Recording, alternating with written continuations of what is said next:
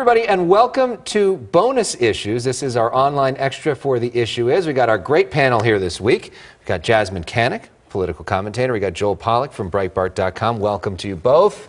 Thank you for being here. All right, so let's talk about um, one of the issues this week locally uh, was the LAPD. We have a new chief. Michel Moore named. Charlie Beck is retiring. I know this is something you're very active on, Jasmyne. um, what's your reaction?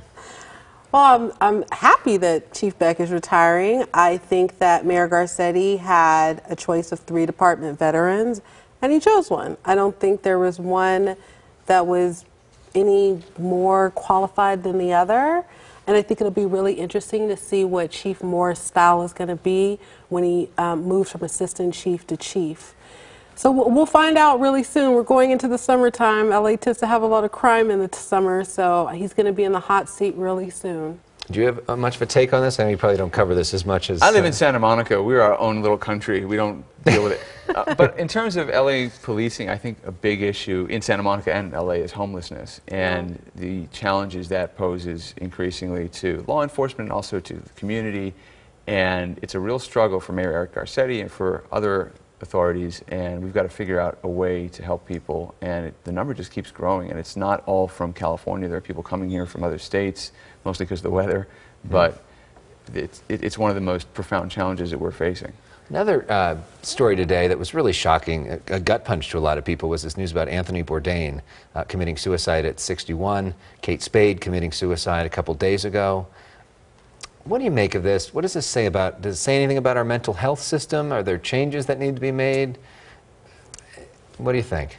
I think that depression doesn't go by how much money you have, what race you are, um, what gender you are. And so you can be rich, you can be wealthy, you can be famous, um, and you can still suffer from extreme depression.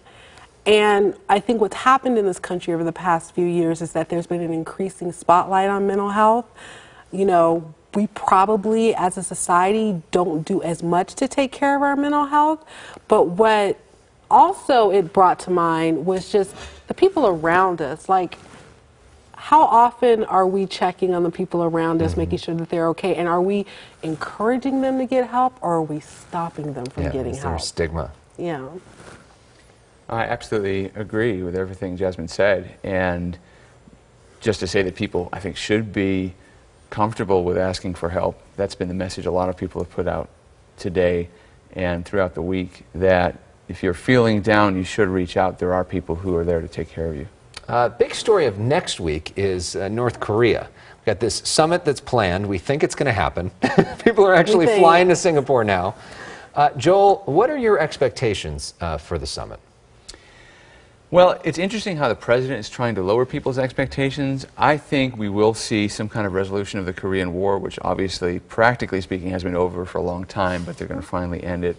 I don't know that we'll see a grand bargain on denuclearizing North Korea or moving toward reunification of the Korean Peninsula. That might take a while.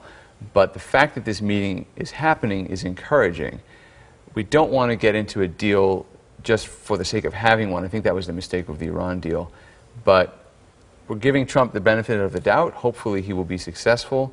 And China's role in all of this is also interesting because we're trying to get them to help us in North Korea, but we're also fighting with them on trade. So this is a very delicate dance. I'm expecting some positive things. We'll see what happens. Anything?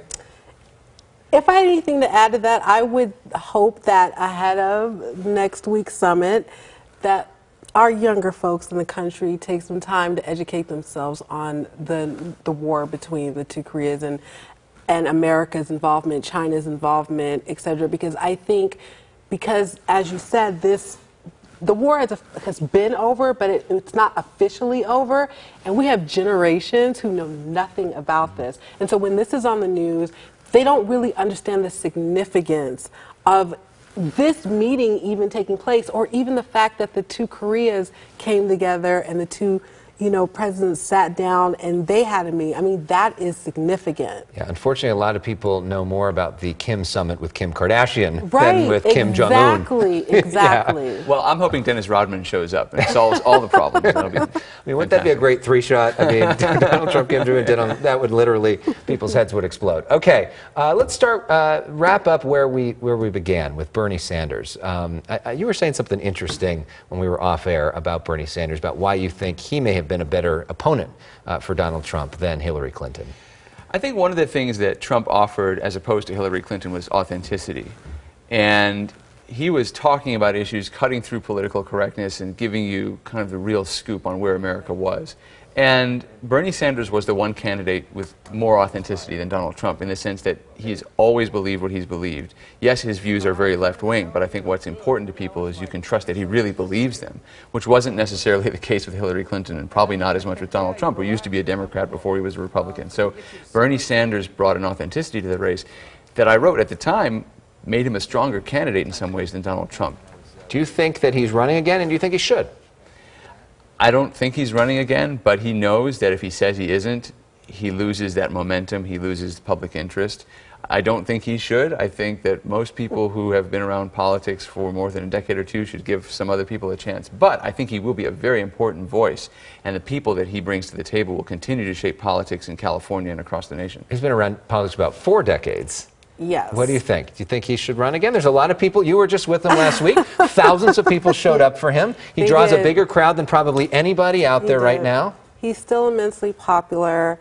I agree with Joel that I think that people who have been um, around in politics as long as Sanders and other folks should kind of make room for for younger generations to come in and give them an opportunity. They also should be grooming them as well. I think that Sanders is holding on to his popularity right now. He's holding on to the fact that he has so many people who are interested in what he has to say so that he can use that in the 2018 midterms, use that going into 2020. I don't know if that means he's going to run, but he's definitely smart enough to not alienate his base right now. It's interesting, though, that when I asked him the question, who's next, he didn't say a name. There isn't necessarily a natural heir to Bernie Sanders, although it seems like a lot of the senators are trying to go more left. You see Kamala Harris trying to go more left, Elizabeth Warren, a lot of the people adopting a lot of the policies that Bernie has put forward, especially when it comes to universal health care. I mean, what do you make of Kamala Harris? I think that she's great. I'm still trying to figure her out. She's she's moved up pretty quickly. I think a lot of people are still trying to get a feel for exactly what her politics are. How consistent is she going to be? Um, and we haven't gotten that yet. So I think she still needs to put in some work. That's me.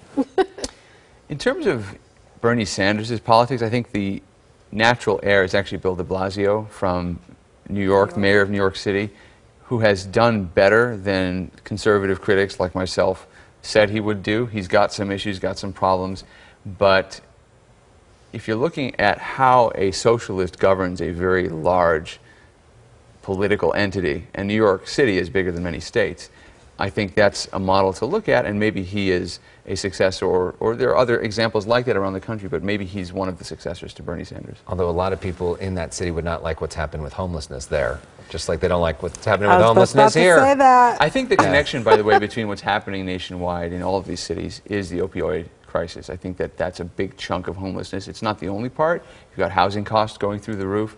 yes. But I think the opioid crisis is one the Trump administration has tried to tackle, but we're not seeing it just yet. And it's about more than sentences. It's about more than enforcement at the border. All of those things are very important. But there's a huge problem of dependency that is very difficult to solve because ultimately it comes down to the individual struggles that each person has. And maybe that's related to the mental health issues we were talking about before with depression and so on. I think that that's a crisis that our country hasn't grappled with just yet. Yeah. All right, I think we're going to leave it there. Thank you both for coming here. Thank you. Thank you for bringing your six year old daughter with you. Um, I think that there's no better show for six year olds than The Issue Is. That's so we encourage all young children to watch us every week, especially the digital extra bonus issues. Have a great week, guys, and hope to see you Thank back here you. again soon. Thank you. Thanks for watching, and uh, we'll see you next time.